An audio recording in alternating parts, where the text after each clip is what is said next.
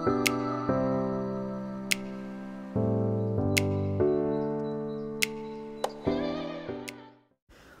ಎಲ್ರಿಗೂ. Welcome to Karnataka exams so ಇನ್ಮೇಲೆ ಏನು ಮಾಡಬೇಕು ಅಂತ ಇದ್ದಾರೆ ಅಂತಂದರೆ ಫೋರ್ ವೀಲರ್ಸು ಹೊಸದೇನಾದ್ರು ಪರ್ಚೇಸ್ ಮಾಡಿದ್ರೆ, ಅಥವಾ ಟೂ ವೀಲರು ಹೊಸದೇನಾದ್ರು ಪರ್ಚೇಸ್ ಮಾಡಿದ್ರೆ ಇನ್ಶೂರೆನ್ಸು ಮುಂಚೆನೇ ಲಾಂಗ್ ಟರ್ಮ್ ಇನ್ಶೂರೆನ್ಸು ಪೇ ಮಾಡಬೇಕು ಅಂತ ಹೇಳ್ಬಿಟ್ಟು ಹೇಳ್ತಾ ಇದ್ದಾರೆ ಸೊ ಇವಾಗ ಎಕ್ಸಾಂಪಲು ಫೋರ್ ವೀಲರ್ ನೀವೇನಾದ್ರು ಪರ್ಚೇಸ್ ಮಾಡಿದ್ದೀರಾ ಅಂತ ಅಂದ್ಕೊಳ್ಳಿ ಸೊ ಇವಾಗ ಹೊಸದು ಫೋರ್ ವೀಲರ್ ಪರ್ಚೇಸ್ ಮಾಡಿದಾಗ ಫಸ್ಟೇ ನಾವು ತ್ರೀ ಇಯರ್ಸಿನ ಇನ್ಶೂರೆನ್ಸ್ ಪರ್ಚೇಸ್ ಮಾಡಬೇಕಾಗತ್ತೆ ಇವಾಗ. ಅಕಸ್ಮಾತ್ ಟೂ ವೀಲರ್ ಪರ್ಚೇಸ್ ಮಾಡಿದ್ರೆ ಅದಕ್ಕೆ ಫೈವ್ ಇಯರ್ಸಿಂದು ಇನ್ಶೂರೆನ್ಸು ಸ್ಟಾರ್ಟಿಂಗೇ ಪೇ ಮಾಡಬೇಕಾಗತ್ತೆ. ಆದರೆ ನಾವು ಇವಾಗ ಯಾವ ಥರ ಮಾಡ್ತಾಯಿದ್ದೀವಿ ಅಂತಂದರೆ, ಇವಾಗ ಫೋರ್ ವೀಲರ್ ಆಗಲಿ ಅಥವಾ ಟೂ ವೀಲರ್ ಆಗಲಿ ನಾವು ಪರ್ಚೇಸ್ ಮಾಡ್ಕೊಂಡ್ರೆ ಏನು ಮಾಡ್ಕೊಂಡಿರ್ತೀವಿ? ಒಂದು ವರ್ಷದ್ದು ಇನ್ಶೂರೆನ್ಸ್ನ ನಾವು ಪೇ ಮಾಡಿರ್ತೀವಿ. ಒನ್ ಇಯರ್ದು ಇನ್ಶೂರೆನ್ಸ್ನ ನಾವು ಪೇ ಮಾಡಿರ್ತೀವಿ. ಆದರೆ ಇವಾಗ ತ್ರೀ ಇಯರ್ಸು ಮತ್ತು ಈ ಫೈವ್ ಇಯರ್ಸ್ ಇನ್ಶೂರೆನ್ಸು ಸ್ಟಾರ್ಟಿಂಗೇ ಪೇ ಮಾಡಬೇಕಾಗತ್ತೆ. ಸೊ ಈ ಥರ ಪೇ ಮಾಡೋದ್ರಿಂದ ಏನಾಗುತ್ತೆ ಅಂತಂದರೆ ಫಸ್ಟು ಅಪ್ ಫ್ರಂಟ್ ಕಾಸ್ಟ್ ಏನು ನಾವು ಕೊಡ್ತೀವಲ್ಲ, ಅಂತಂದರೆ ಸ್ಟಾರ್ಟಿಂಗು ಗಾಡಿ ತೊಗೊತಾ ಇರ್ಬೇಕಾದ್ರೆ ಕಾಸ್ಟು ಆ ಕಾಸ್ಟು ಇನ್ಕ್ರೀಸ್ ಆಗುತ್ತೆ. ಸೊ ಇದು ಯಾವಾಗ? ಸೆಪ್ಟೆಂಬರ್ ಫಸ್ಟಿಂದ ಇಂಪ್ಲಿಮೆಂಟ್ ಆಗಿದೆ ಇವಾಗಲೇ ಸೆಪ್ಟೆಂಬರ್ ಫಸ್ಟಿಂದ ಇಂಪ್ಲಿಮೆಂಟ್ ಆಗಿದೆ. ಇದನ್ನು ಯಾರು ಸ್ಟಾರ್ಟ್ ಮಾಡ್ಕೊಂಡಿರೋದು ಅಂತಂದರೆ, ಇದನ್ನು ಯಾರು ಇಂಪ್ಲಿಮೆಂಟ್ ಮಾಡೋಕ್ಕೆ ಹೇಳಿರೋದು ಅಂತಂದರೆ insurance regulatory and development authority of India insurance regulatory and development authority of India ಈ ಡೆಡ್ಲೈನು ಕೊಟ್ಟಿದೆ. ಸೊ ಇದನ್ನು ಯಾವ್ದ್ಯಾವ್ದಕ್ಕೆ ಇವು ಅಪ್ಲೈ ಆಗುತ್ತೆ ಅಂತ ಹೇಳ್ಬಿಟ್ಟು ನೋಡೋಣ. ಸೊ ಫಸ್ಟ್ ಆಫ್ ಆಲ್ ಇದು ಬಂದ್ಬಿಟ್ಟು ಪ್ರೈವೇಟ್ ವೆಹಿಕಲ್ಸಿಗೆ ಅಷ್ಟೇ ಅಪ್ಲೈ ಆಗುತ್ತೆ. ಅಂತಂದರೆ ಪ್ರೈವೇಟ್ ಫೋರ್ ವೀಲರ್ಸು ಅಥವಾ ಟೂ ವೀಲರ್ಸ್ನ ಪರ್ಚೇಸ್ ಮಾಡ್ಕೊಂಡಿದ್ರೆ. ಯಾವಾಗಿಂದ ಅಪ್ಲೈ ಆಗುತ್ತೆ ಅಂತಂದರೆ September first two thousand eighteen ಅಥವಾ ಅದಾದಮೇಲೆ ಏನಾದರೂ ವೆಹಿಕಲ್ನ ಪರ್ಚೇಸ್ ಮಾಡ್ಕೊಂಡಿದ್ರೆ ಆವಾಗ ಇದು ಮಲ್ಟಿ ಇಯರ್ಸು ಏನು ಇನ್ಶೂರೆನ್ಸ್ ಇದೆಯಲ್ಲ, ಅದು ಇರಬೇಕಾಗತ್ತೆ. ನೆಕ್ಸ್ಟು ರಿಜಿಸ್ಟ್ರೇಷನ್ ಡೇಟ್ನೇ ಡೇಟ್ ಆಫ್ ಪರ್ಚೇಸ್ ಅಂತ ಹೇಳ್ಬಿಟ್ಟು ಕನ್ಸಿಡರ್ ಮಾಡಿರ್ತಾರೆ. ರಿಜಿಸ್ಟ್ರೇಷನ್ ಯಾವಾಗ ಆಗುತ್ತಲ್ಲ, ಅದನ್ನೇ ಡೇಟ್ ಆಫ್ ಪರ್ಚೇಸ್ ಅಂತ ಹೇಳ್ಬಿಟ್ಟು ಕನ್ಸಿಡರ್ ಮಾಡ್ಕೊಂಡಿರ್ತಾರೆ. ಸೊ ಇದಕ್ಕೆ ಬ್ಯಾಕ್ಗ್ರೌಂಡ್ ಏನು? ಬ್ಯಾಕ್ಗ್ರೌಂಡ್ ಏನು ಅಂತಂದರೆ ಸುಪ್ರೀಂ ಕೋರ್ಟ್ ಆರ್ಡರ್ ಪ್ರಕಾರ insurance regulatory development authority of India ಏನಂದಿತ್ತು ಅಂತಂದರೆ, ಎಲ್ಲ ಜನರಲ್ ಇನ್ಶೂರೆನ್ಸ್ ಯಾರ್ಯಾರು ಪ್ರೊವೈಡ್ ಮಾಡ್ತಾರಲ್ಲ, ಅವ್ರಿಗೆ ಬರೀ ಲಾಂಗ್ ಟರ್ಮ್ ಇನ್ಶೂರೆನ್ಸ್ ಅಷ್ಟೇ ಪ್ರೊವೈಡ್ ಮಾಡಬೇಕು ಅಂತ ಹೇಳ್ಬಿಟ್ಟು ಹೇಳಿದರು.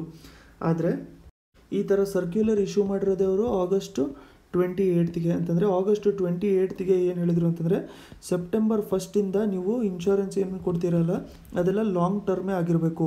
ಫೋರ್ ವೀಲರ್ಸ್ಗೆ ತ್ರೀ ಇಯರ್ಸ್ ಆಗಿರಬೇಕು ಫೈವ್ ವೀಲರ್ಸ್ ಟೂ ವೀಲರ್ಸ್ಗೆ ಫೈವ್ ಇಯರ್ಸ್ ಆಗಿರಬೇಕು ಅಂತ ಹೇಳ್ಬಿಟ್ಟು ಟ್ವೆಂಟಿ ಏಯ್ತ್ ಆಗಸ್ಟ್ ನೀವು ಈ ಥರ ನೋಟಿಫಿಕೇಷನ್ ಅವರು ಈ ಥರ ನೋಟಿಫಿಕೇಷನ್ನ ಕೊಟ್ಟಿದ್ದರು ಆದರೆ ಸುಪ್ರೀಂ ಕೋರ್ಟ್ ಯಾವಾಗ ಈ ಥರ ಆರ್ಡರ್ ಕೊಟ್ಟಿತ್ತು ಅಂತಂದರೆ ಟ್ವೆಂಟಿಯತ್ ಜುಲೈ ಟೂ ತೌಸಂಡ್ ಏಯ್ಟೀನೇ ಈ ಥರ ನೋಟಿಫಿಕೇಷನ್ ಕೊಟ್ಟಿತ್ತು ಅಂತಂದರೆ ಮಿನಿಮಮ್ಮು ತ್ರೀ ಇಯರ್ಸ್ ಇರಬೇಕು ಫೋರ್ ಫೋರ್ ವೀಲರ್ಸ್ಗೆ ಮತ್ತು ಫೈವ್ ಇಯರ್ಸ್ ಇರಬೇಕು ಟೂ ವೀಲರ್ಸ್ಗೆ ಅಂತ ಹೇಳ್ಬಿಟ್ಟು ಹೇಳಿದರು.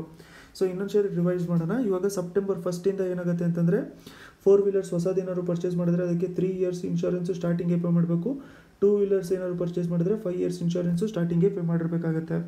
ಅಂತಂದರೆ ಈ ಈ ಟೈಪ್ ಪೇ ಮಾಡಿರೋದ್ರಿಂದ ಏನಾಗುತ್ತೆ? ಅಪ್ ಫ್ರಂಟ್ ಕಾಸ್ಟ್ ಅಂತಂದರೆ ನಾವು ಸ್ಟಾರ್ಟಿಂಗ್ಗೆ ಏನು ಪೇ ಮಾಡ್ತೀವಲ್ಲ ಕಾಸ್ಟು ಅದು ಇನ್ಶೂರೆನ್ಸಿಗೆ ಆಲ್ಮೋಸ್ಟು ತ್ರೀ ಟೈಮ್ಸು ಪೇ ಮಾಡಬೇಕಾಗಿರುತ್ತೆ. ಫೋರ್ ವೀಲರ್ಸಲ್ಲಿ ಫೈವ್ ಟೈಮ್ಸು ಟೂ ವೀಲರ್ಸಲ್ಲಿ ಪೇ ಮಾಡಬೇಕಾಗಿರುತ್ತೆ. ಸೊ ಇದು ಬರೀ ಪ್ರೈವೇಟ್ ವೆಹಿಕಲ್ಸಿಗೆ ಅಷ್ಟೇ ಅಪ್ಲಿಕೇಬಲು ಅಂತಂದರೆ ಯಾವಾಗ ಡೇಟು ಅಂತಂದರೆ ರಿಜಿಸ್ಟ್ರೇಷನ್ ಡೇಟೇ ಡೇಟ್ ಆಫ್ ಪರ್ಚೇಸ್ ಅಂತ ಹೇಳ್ಬಿಟ್ಟು ಕನ್ಸಿಡರ್ ಮಾಡ್ತಾರೆ. ಅಂತಂದರೆ ಸೆಪ್ಟೆಂಬರ್ ಫಸ್ಟು ಅಥವಾ ಅದಾದಮೇಲೆ ಪರ್ಚೇಸ್ ಮಾಡಿದರೆ ಡೇಟು ಆ ವೆಹಿಕಲ್ಸ್ಗೆ ಆವಾಗಷ್ಟೇ ಅದಕ್ಕೆ ಪರ್ಚೇಸ್ ಮಾಡ್ಕೋಬೇಕಾಗತ್ತೆ. ನೆಕ್ಸ್ಟ್ ಇನ್ನೊಂದು ಏನು ಹೇಳ್ತಾರೆ ಅಂತಂದರೆ ಇದರಲ್ಲಿ ಓನ್ ಡ್ಯಾಮೇಜ್ ಅಂತ ಒಂದಿರುತ್ತೆ ಅಂತಂದರೆ ನಾವೇ ಡ್ಯಾಮೇಜ್ ಮಾಡಿಕೊಂಡ್ರೆ ಏನಾದ್ರು ಇದು ಇನ್ಶೂರೆನ್ಸು ಕ್ಲೇಮ್ ಆಗಿರಲ್ಲ.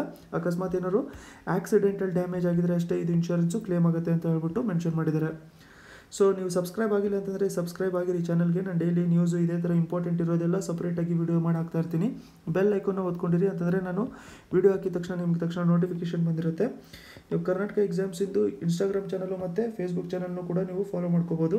ನಾನಲ್ಲಿ ಡೈಲಿ ಇಂಪಾರ್ಟೆಂಟ್ ಪಾಯಿಂಟ್ಸು ಪ್ರಿಲಿಮ್ಸಿಗೆ ಮತ್ತು ಕರೆಂಟ್ ಅಫೇರ್ಸು ಕೂಡ ಪೋಸ್ಟ್ ಮಾಡ್ತಾ ಇರ್ತೀನಿ. ಅದು ನಿಮ್ಗೆ ಎಕ್ಸಾಮ್ಸಿಗೆ ಹೆಲ್ಪ್ ಆಗುತ್ತೆ. ನೆಕ್ಸ್ಟ್ ವೀಡಿಯೋಲಿ ಮತ್ತೆ ಸಿಗೋಣ. ಅನ್ ಅಕಾಡೆಮಿಲೂ ಕೂಡ ಕೋರ್ಸಸ್ ಇದ್ದಾವೆ ಅನ್ ಅಕಾಡೆಮಿ ಡಾಟ್ ಕಾಮ್ ಅಂತ ಹೋಗ್ಬಿಟ್ಟು ಅಲ್ಲಿ ಐ ದೀಪಕ್ ಚೌಹಾನ್ ಅಂತ ನೀವು ಸರ್ಚ್ ಮಾಡಿದ್ರೆ ಈ ಎಲ್ಲ ಕೋರ್ಸಸ್ಸು ಸಿಗುತ್ತೆ. ಇಲ್ಲಿ ಡೈಲಿ ನಾನು ಹಿಂದೂ ಎಡಿಟೋರಿಯಲ್ನ ಡಿಸ್ಕಸ್ ಮಾಡ್ತಾ ಇರ್ತೀನಿ, ಮತ್ತು ಡೈಲಿ ಕರೆಂಟ್ ಅಫೇರ್ಸು ಡಿಸ್ಕಸ್ ಮಾಡ್ತಾ ಇರ್ತೀನಿ.